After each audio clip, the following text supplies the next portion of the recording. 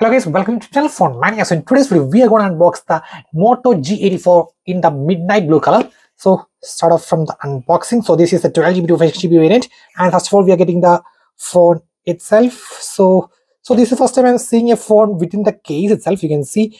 So let me remove the case and show you the midnight blue color. So guys, this is the midnight blue color and this is a plastic bag. The point to be noted is this is a plastic bag and the viva magenta color is the leather bag. So if you are really interested in the leather color so you should go for the magenta color and this is a plastic bag and you can see the sides buttons and on the top you can see it's written dolby atmos over here and on the left we can see the sim tray and we have the headphone jack and the USB type C with the speakers and or the microphone port also. And let's speed off the stickers. And it's written 50MB ultra pixel camera plus OIS ultra vivid POLED display Dolby Atmos high-res audio stereo speakers and okay so guys this is the phone. And let's see and this is the case we are getting. And it's a neat decent case also. And let's see what else we are getting.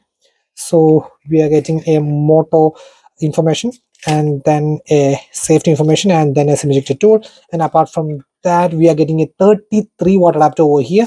You can see a moto 33 watt adapter over here. And then let's see we are getting a usb type a to usb type c data cables also. You can see usb type a to type c data cables. So guys this is the phone. So let's boot up so meanwhile let me put the case. Okay so this is how it looks with the case for the midnight blue color.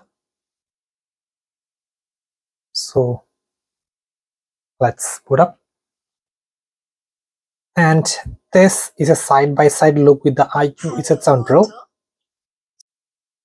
And this is the iQOO Z7 Pro and you can see how it looks differently and this comes with the curved displays and all versus a flat display over here. So i will be doing a comparison between these uh, two of them. So stay tuned. So anyways let's go back to the phone itself and uh, accept and continue.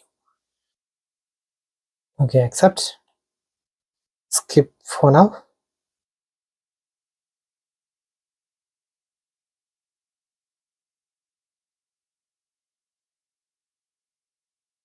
so buttons and gestures let's put gestures.